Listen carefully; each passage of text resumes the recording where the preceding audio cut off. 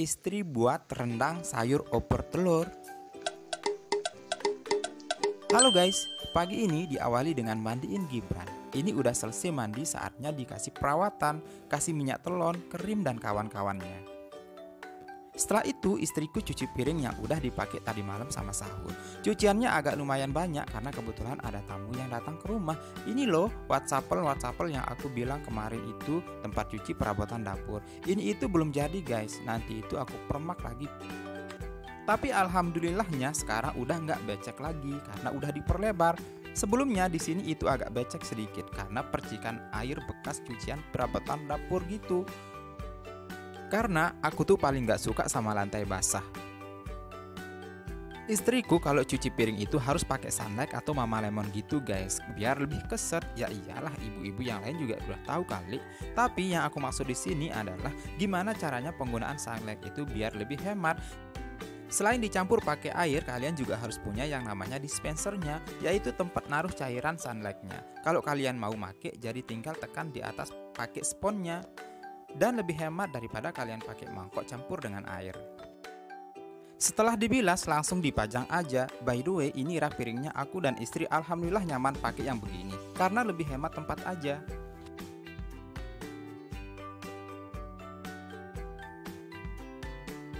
Setelah cuci piring, ini udah agak siangan guys. Istriku potong-potong sayur karena hari ini rencananya mau buat menu rendang sayur opor telur.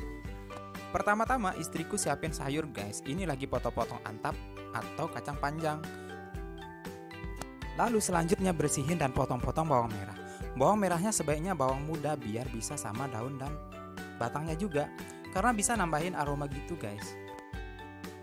Tapi buat kalian yang nggak bisa dan nggak suka sama bawang muda, bisa juga pakai bawang merah yang biasa. Cuman rasa dan aromanya juga pasti beda.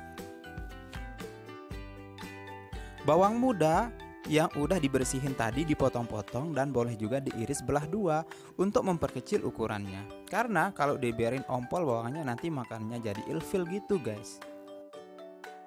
Tapi ada juga sih orang yang biarin ompol bawangnya tanpa diiris belah, itu kembali ke selera aja.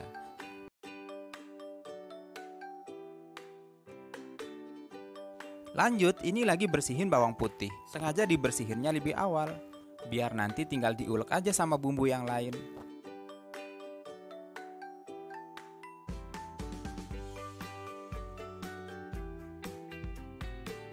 Dan ini sedang sortir cabai untuk dibersihin. Dibersihinnya yang seger-seger aja guys. Saatnya untuk diulek. Terlebih dahulu bawang putihnya. Lalu cabai dan bumbu-bumbu yang lainnya. Lanjut diulek-ulek sampai halus. Gak di blender biar lebih merasa. Ditambahinnya terasi karena ngerasa kurang. Lalu lanjut diulek-ulek lagi.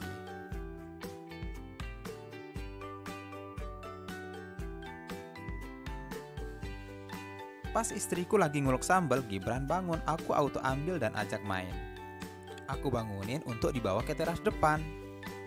Pokoknya suami istri harus tetap bisa bagi waktu, bisa saling bantu, kerjasama, dan tetap saling support. Apalagi dalam hal jagain anak, rawat anak, dan didik anak. Terlebih ketika istri lagi sibuk ngerjain tugas pokok yang lain. Jadi suami harus tetap bisa, jangan gengsi. Dan ngandelin istri aja. Ini Gibran aku kasih mimi dot ya guys, karena kalau baru bangun biasanya lapar. Sementara itu istriku lanjut di dapur saat ini sedang kupas-kupas telur. Setelah terkupas semuanya saatnya digoreng.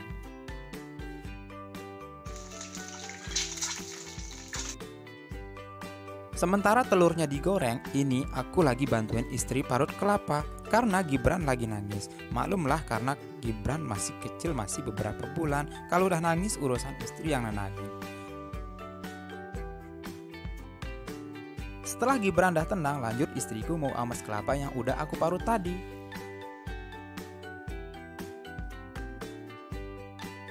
Dan santannya udah jadi, lalu diambil sambal yang udah diulek tadi untuk digoreng.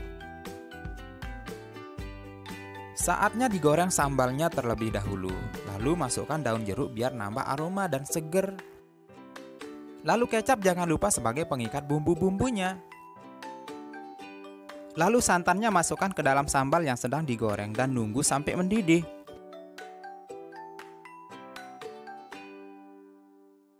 Setelah mendidih, masukkan sayurnya dan ini harus tetap diaduk ya, karena rahasianya itu ada di situ. Karena kalau dibiarin santannya bisa ngumpul, saripati santan jadi nggak pecah, nggak ngikat bumbu-bumbunya.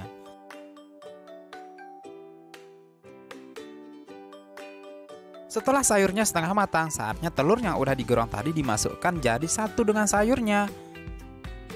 Lalu ditunggu hingga matangnya pas. Oh iya, jangan lupa taburi bawang muda yang udah diiris tadi. Harusnya sih tadi ya, tapi karena ini lupa nggak apa-apalah di akhir aja. Sekian dulu video kali ini, semoga bermanfaat.